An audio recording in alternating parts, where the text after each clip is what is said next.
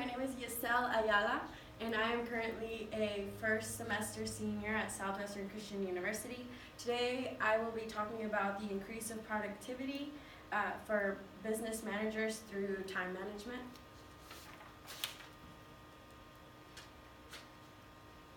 The purpose of this presentation is to understand how time management can affect the increase of productivity for any striving business.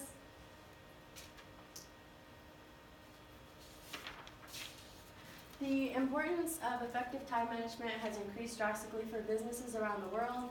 Each business is managed differently, organized differently, and can affect the outcome. What is time management? Time management is the act or process of planning and exercising conscious control over the amount of time spent on specific activities, especially to increase effectiveness, efficiency, or productivity. Um, when it comes to the time management, the way that managers make their workers work um, can really affect the outcome and I guess the supply that comes in for each different, depending on the business. Why it is why is time management important?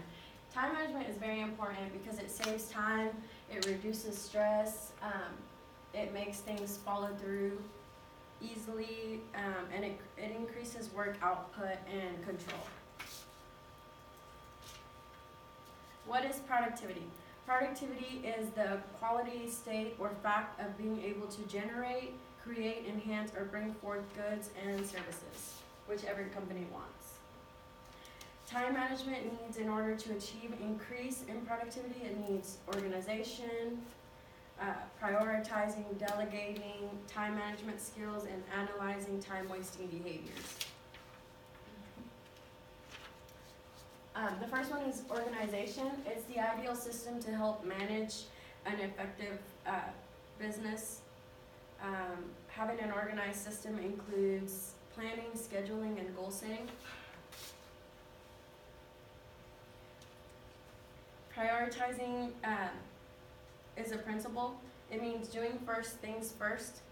Uh, here it just shows a little diagram. Uh, some things need to be done then and there. Some things can be waited. Um, the next one is delegation. Uh, it's a grant of authority by one party.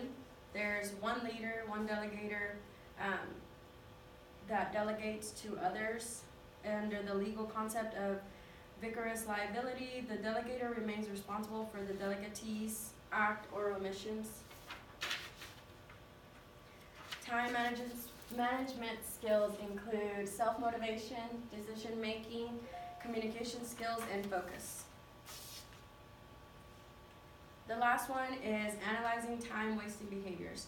That includes interruptions, disruptions, uh, not planning correctly, um, lack of skills, and procrastination.